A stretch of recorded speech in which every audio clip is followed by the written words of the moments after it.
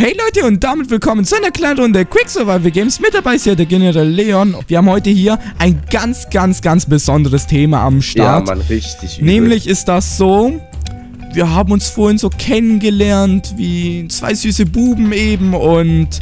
Oh Gott, die spammt mit der Angel herum. Hey, was blendet der so viel TNT? Das war dann eben so, wir haben uns so kennengelernt, ganz gechillt und irgendwann habe ich so gefragt, hey Digga, wo wohnst du und...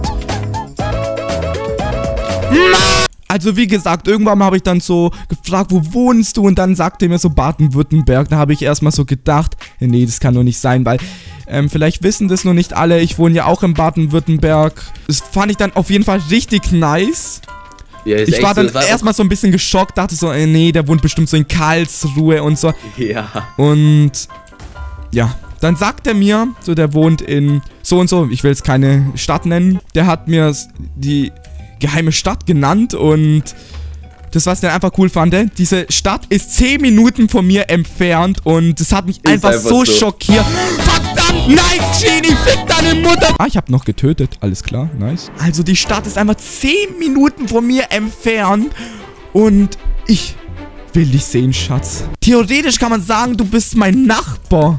Ähm, ich wohne in der Nähe von Stuttgart und mich würde es wirklich interessieren, wer alles noch so in Stuttgart wohnen würde. Es wohnen extrem viele in NRW, also, ähm, die ich auch übers Internet kennengelernt habe. Verdammt! Also jeden Typ, den ich irgendwie ähm, aus dem Internet kennenlerne, der wohnt meistens in NRW oder Hamburg oder sowas. Ja, alle. Es ist so übertrieben einfach. Wie als ob in Hamburg oder in NRW der Computer erfunden worden ist. Ich werde auch bald ähm, Vlogs auf den Kanal bringen, also machen. Sobald ich mir meine Facecam gekauft habe, werde ich mir auch natürlich eine Canon Legria besorgen. Aber leider geht das irgendwie nicht, weil ich mein ganzes Geld, ähm, was ich für die Facecam erspart habe, verschwendet habe.